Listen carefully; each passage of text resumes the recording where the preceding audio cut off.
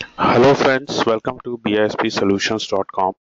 My name is Sumit and this is my another video in Python machine learning video series and the topic for today's video is hands-on guide to compute correlation matrix in Python using pandas. So let's try to understand what exactly correlation is. So correlation is one of the most widely used and widely misunderstood statistical concept. It's a statistical test of association between variables. So the term correlation refers to a mutual relationship or association between quantities and it is measured on minus 1 to plus 1 scale. The closer the correlation value is minus 1 or plus 1 then the stronger the association and the closer to zero is the weaker the association. It is useful to express one quantity in terms of its relationship with others. It is used to refer to a mutual relationship or association between quantities as I mentioned. So it is used to predict that how changes in one variable uh, is associated directly associated with changes in another variable. Uh, let's take a very common example of correlation in our real life. The sales team, the sales might increase when the marketing department spends more on TV advertisement. So when the marketing department starts spending more on advertisement, so definitely the sale of their company for the TV will get increased. Or a customer's average purchase amount on e-commerce website might depend on a number of factors related to that customer. So the the consumers, those who are purchasing items on e-commerce, it depends upon various factors. Before going to purchase any product or any item, nowadays the customers they go for its reviews. More number of reviews more positive responses more positive reviews will help consumer to decide whether they should go with this product or not. So often correlation is the first step to understanding these relationships and subsequently building better business and statistical model so why correlation is a useful metric? Correlation can help in predicting one quantity from another. Correlation can indi indicate the presence of a causal relationship. Correlation is used as a basic quantity and foundation for many other modeling techniques. More formally, correlation is a statistical measure that describes the association between random variables. Now we have types of correlation. So the responses we get in three responses: positive correlation, negative or reverse correlation, inverse correlation, and no correlation.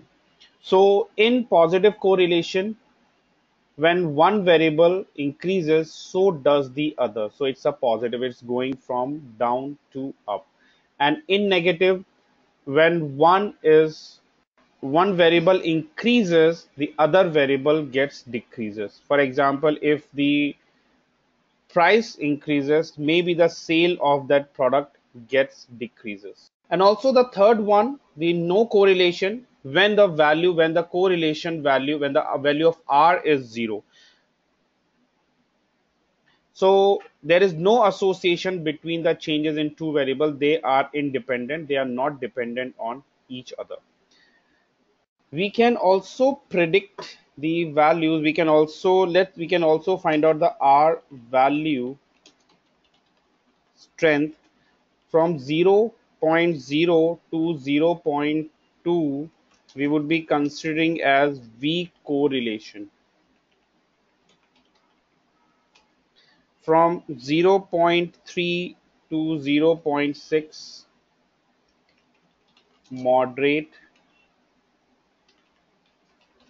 correlation and from 0.7 to 1.0 because as we calculated between minus 1 2 plus 1 so it's a strong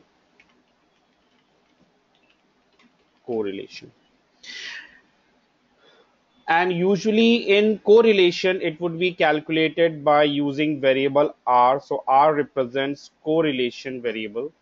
And uh, after applying the correlation formula the result gets stored into r and we by identifying by getting the value of r by checking the value of r we decide whether it's a strong relationship or it's a it's a positive correlation or a negative correlation or if it is close to zero it means then there would be no correlation. There are several methods for calculating the correlation coefficients and each of them they would be measuring the different type of strength of association and the mostly widest used methods for correlations are Pearson correlation coefficient, Spearman rank correlation assumption, and Candle Stab B correlation assumption. And you can see out of these three, the Pearson calculates Pearson is used to calculate the actual value. These two are used for just for assumption, but the accurate result we would be getting in Pearson correlation coefficient. So now it's time to look at that how we can create a correlation matrix in Python using pandas. In my next video, I'll talk about how to cal how to use Pearson correlation coefficient method to find out the correlation coefficient. At present, we will be going to use the correlation mat we'll be using pandas to find out the correlation matrix. Now the data which I'm using here for correlation is uh, which we are which I'm going to extract or import into Python for applying correlation to create a correlation matrix is this abalone names abalone is it's a, like a tree where we would be predicting the age of abalone from their physical measurements. And uh, the age of abalone is determined by cutting the shell through the cone. And there are total 4,177 instances in this data set. The number of attributes are 8. These are the 8 attributes we have the sex, length, diameter, height, whole weight, shucked weight, Viscera weight, shell weight, and rings. And we have three descriptions for sex male, female, and infant. Longest, perpendicular to length, with meat in shell, whole. So abalone is a seashell. It's not a tree. My mistake. It's a seashell. And we would be predicting its age based on certain parameters as you can see we don't have any age parameter factor and weight of meat gut weight after bleeding after bleeding dried and plus 1.5 gives the age in year that's the number of rings we get. And when we get the statistics in numeric domains so minimum maximum mean SD, and Correl there are no missing attributes and the class descriptions. Now we are going to use Jupyter Notebook for calculating it. So I just write Jupyter Notebook and uh, I will create a new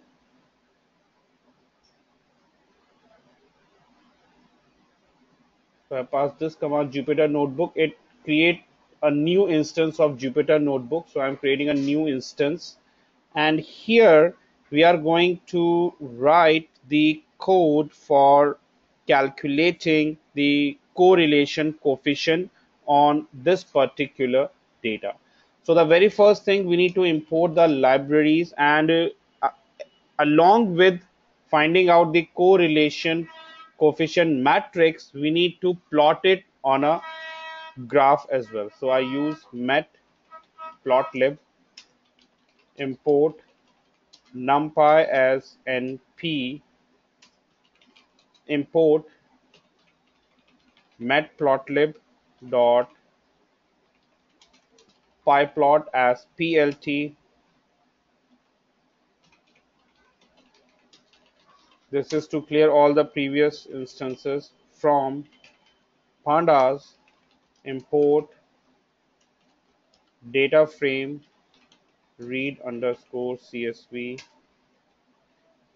now I would be capturing the data from here so I just write https and abalone names. That's the data. So you can see that's the data and the total instances are 4177 instances. So that's the file that's the uh, url i would be using. And that's the url and df is equal to read underscore csv from f. Csv from f. And i'll run it. So so I just read it read underscore CSV and I simple write I simple display the data. So df so it will be executing. This will take some time and you can see all 4176 rows with nine columns have been extracted. I'm interested only in first 10 records. So I write 0 to 10 and uh, we print df it should be df is equal to and uh, it will print first few records first 10 records. Now next I'm creating one co relation matrix method and I pass the data frame within it and from matplotlib import pyplot as plt that's for plotting from matplotlib import cm as cm figure is equal to plt dot figure. Ax1 is equal to fig dot add underscore subplot cmap is equal to cm dot get underscore cmap and the map type would be jet type and 30 instances is equal to ax1 dot imshow. And here I'm going to use the coefficient correlation coefficient method so write df dot corr so a correlation coefficient have been applicable on data frame which we pass within this function. So it will show that and correlation coefficient comma interpolation is equal to nearest comma cmap is equal to cmap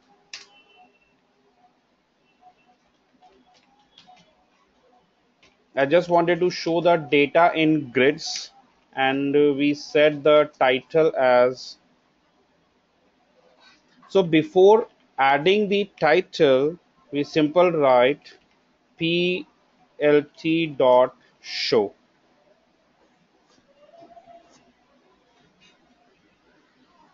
and uh, I'm going to call this function so correlation matrix I'm invoking this function and passing a df frame to it. So let's test it first. So as you can see here, the matrix is created with a couple of colors and we have the 0, 1, 2, 3, 4, 5, 6, 7, 8. These are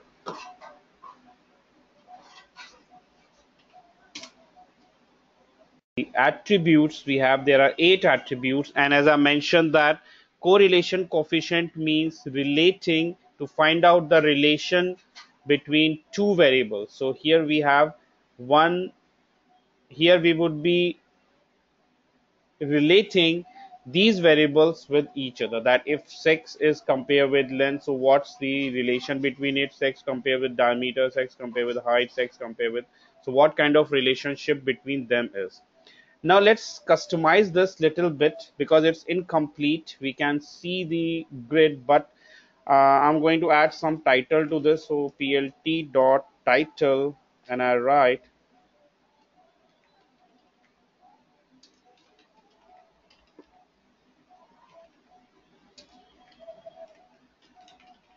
correlation.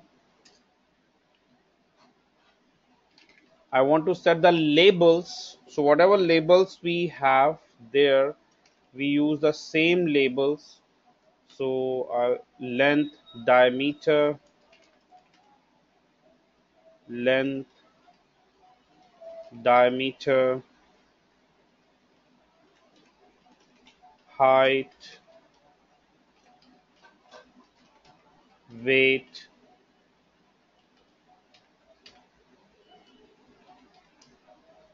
pole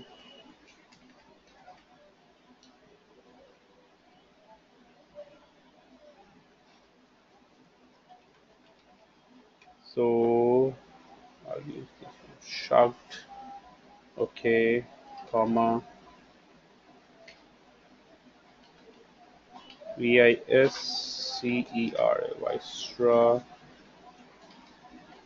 shell and rings. So we have one two three four five six seven.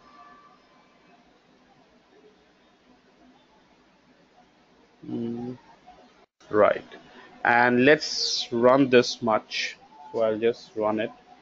I just select it and execute it again and run it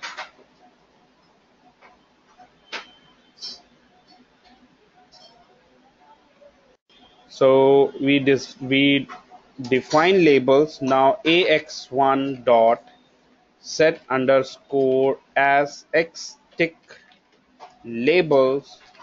Right i use labels which we defined in previous step and font size i set as 6 then i copy this and define same thing for y.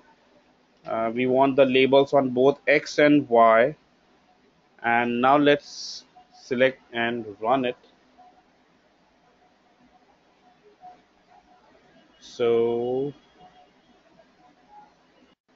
it's as tick labels.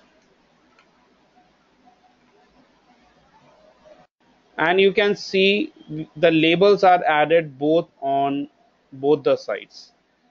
The labels are too small because of the font size but because of, I wanted to show all the labels so that's why I put this size.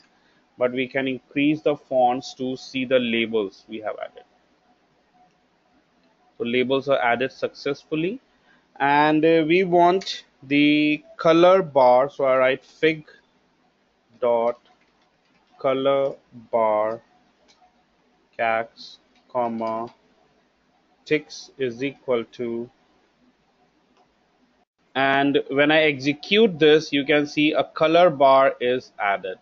So this would be predicting the values between 0 and 0.75 so we have all positive values.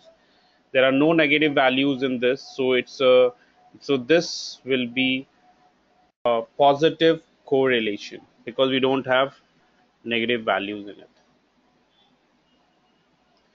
And the value labels we added like this 0.75 0.8 0.85 0.90 0.95 and 1 so I'm, I'm assuming that we all have this would be this is to show this color bars. So that's how we can create a matrix a correlation matrix in python using pandas. That's all in this video. If you have some queries you can post your comments in comment box. In my next upcoming video related to correlation we would be going to see the pearson method the Pearson correlation coefficient method to find out to calculate correlation coefficient. That's all. Have a nice day. Goodbye.